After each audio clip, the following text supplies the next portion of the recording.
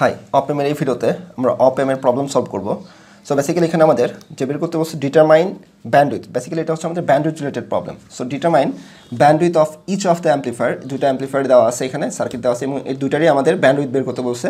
Both op amps have an open loop voltage gain of একশো decibel and unity gain bandwidth of three megahertz ঠিক আছে? So এটা দেখার আগে so প্রথমে আমরা আমাদের, আমরা যে ইতিমধ্যে দেখে ফেলছি বেসিক যে থিওরিটা সেটা আমরা ইতিমধ্যে দেখে নিই। ইতিমধ্যে আমরা বেসিক থিওরি দেখে ফেলছিলাম। সো এখানে আমরা দেখতেছিলাম যে, আমরা দেখছিলাম যে গেইন ব্যান্ডউইথ কাকে বলে? গেইন ব্যান্ডউইথটা বলে হচ্ছে গেইন এর ফ্রিকোয়েন্সি এগেনস্ট গেইনের গুণফলটাকে আমরা গেইন ব্যান্ডউইথ প্রোডাক্ট বলছিলাম। সেটা হচ্ছে আমাদের এফ অফ ইউনিট আসতেছিল দ্যাট মিনস কনস্ট্যান্ট আসতেছিল।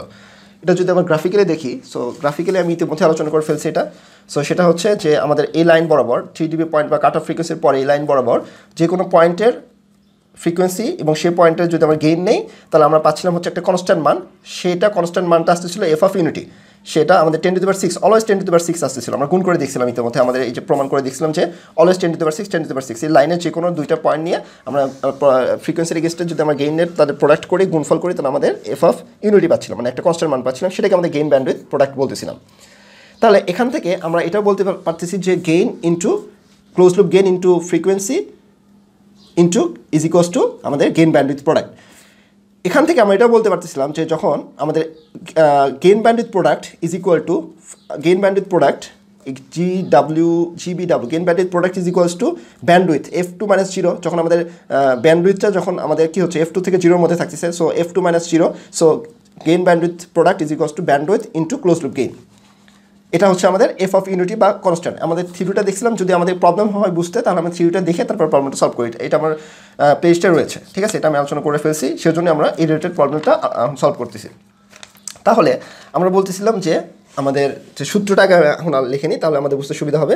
আমাদের ব্যান্ডউইথ বা gain bandwidth product G B W is equals to আমাদের পাইছিলাম হচ্ছে bandwidth into close loop gain close loop gain is equals to এটা সমান আমাদের এফ অফ ইউনিটিও ছিল। মানে যে পয়েন্টটাতে আমাদের গেইনটা ইনফিন যে পয়েন্টটাতে আমাদের গেইনটা ইউনিটি ছিল সেই পয়েন্টের ফ্রিকোয়েন্সি হচ্ছে এফ অফ ইউনিটি সেটা হচ্ছে গেইন ব্যান্ডউইথ প্রোডাক্ট একই জিনিস জাস্ট সিম্পল সো এখন আমাদের বের করতে হচ্ছে গেইন ব্যান্ডউইথ আমাদের বের করতে হচ্ছে ব্যান্ডউইথ তাহলে আমাদের ব্যান্ডউইথ সমান কত আসবে? ব্যান্ডউইথ সমান আসবে হচ্ছে আমাদের gain bandwidth divided by close loop gain just এখন আমাদের কী কী নাই, সেটা দেখে দেখে যদি থাকে সব কিছু তাহলে বাসায় দেবো, না থাকলে আমরা বের করে নেব। আমাদের গেইন ব্যান্ডউইথ দেওয়া আছে হচ্ছে three megahertz megahertz right so আমাদের ক্লোজ লুপ গেইনটা নাই। সো আমাদের ক্লোজ লুপ গেইনটা বের করে নিতে হবে। সেটা আমাদের ইকুয়েশন দিয়ে রাখি।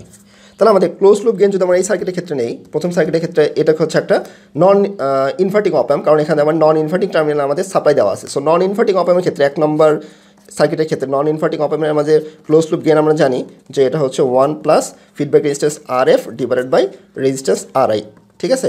তাহলে এখানে ওয়ান প্লাস আর এফ হচ্ছে দুইশো বিশ kilo ohm divided by three point three kilo ohm. তাহলে আমরা পাবো হচ্ছে গেইন ক্লোজ লুপ গেইন পাবো হচ্ছে আমরা এখানে যদি ক্যালকুলেশন করি সিক্সটি সেভেন পয়েন্ট সেভেন তাহলে এখান থেকে আমাদের যে ব্যান্ডউইথটা আসবে ব্যান্ডউইথ সমান আমাদের দেওয়া আছে গেইন ব্যান্ডউইথ দেওয়া আছে গেইন ব্যান্ডউইথ প্রোডাক্ট হচ্ছে three mega hertz divided by আমাদের যে ক্লোজ লুপ গেইন সেটা হচ্ছে সিক্সটি সেভেন পয়েন্ট সেভেন তাহলে আমাদের ব্যান্ডউইথ পাবো হচ্ছে, যদি আমরা ক্যালকুলেশন করে থাকি, তাহলে জাস্ট সিম্পলি ক্যালকুলেশন করব forty four point three kilo hertz very simple তাহলে নেক্সটে আমাদের বলছে যে দুই নম্বর সার্কিটের ক্ষেত্রে আমরা বের করব। সো দুই নম্বর সার্কিটের ক্ষেত্রে আমাদের ব্যান্ডউইথটা ওটাই থাকবে। মানে আমাদের দুই নম্বর সার্কিটের ক্ষেত্রে আমাদের গেইন ব্যান্ডউইথটা থ্রি মেগা হার্জই থাকবে। জাস্ট আমাদের গেইনটা চেঞ্জ হয়ে যাবে। কারণ এটা আমাদের একটা ইনভার্টিং অপ্যাম সো আমাদের ব্যান্ডউইথটার ক্ষেত্রে আমাদের গেইনটা কত আসতেছে? গেইনটা আসতে আসতে আমাদের ক্লোজ লুপ গেইন পাবো হচ্ছে আমাদের মাইনাস আমাদের ইতিমধ্যে দেখে পেয়েছি নন ইনভার্টিং অপ্যামের যে গেইনটা আসে minus feedback resistance R F divided by R I so এটা পাবো হচ্ছে যদি আমরা মান বসাই forty seven divide by one তাহলে পাবো হচ্ছে